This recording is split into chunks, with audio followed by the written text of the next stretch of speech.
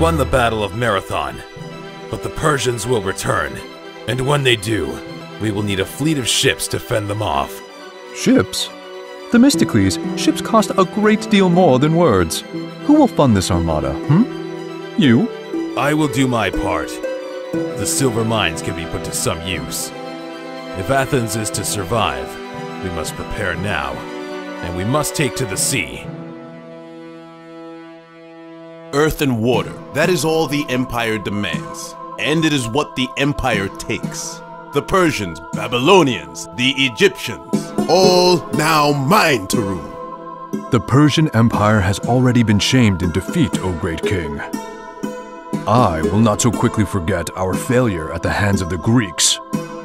Even now, they build a great city to defy your empire. How many years will we allow them to mock us unchallenged? How long will your father's legacy remain unavenged, King Xerxes?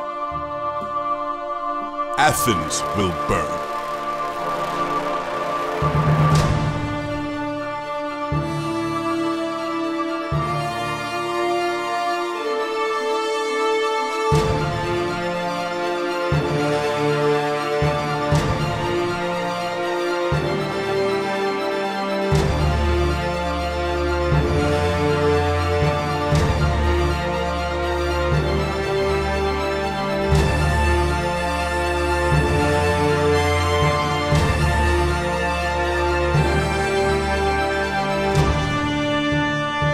Numbers are what matters.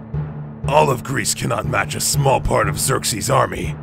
But if courage is what counts, this number is sufficient. But the army King Xerxes commands is so great in number. One volley of their arrows can block out the sun. So much the better. We shall fight in the shade.